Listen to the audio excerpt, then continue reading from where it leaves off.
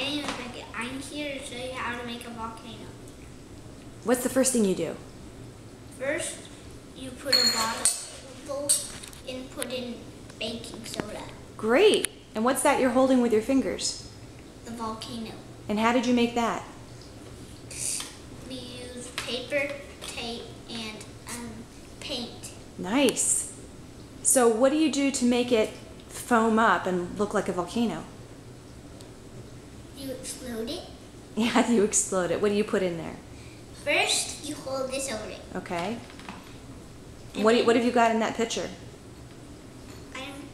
Water, Vinegar. vinegar. Yeah? All right, let's pour it in and see what happens. I look.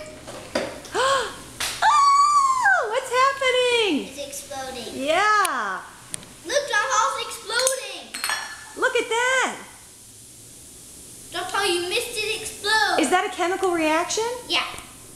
That is so neat. So you just put baking soda and, and vinegar together and it makes it foam up and look like a volcano. That's pretty cool. Let's do it again, Mom. Thanks, Becket. You're welcome.